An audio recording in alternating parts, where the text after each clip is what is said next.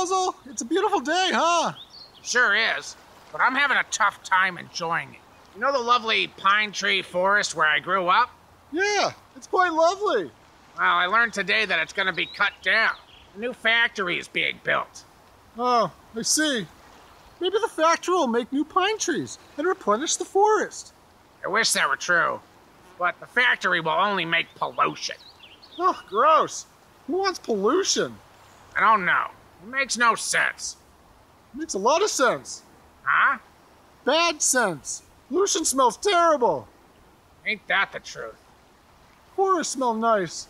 People should build forests, not factories. Forests make good sense. I agree.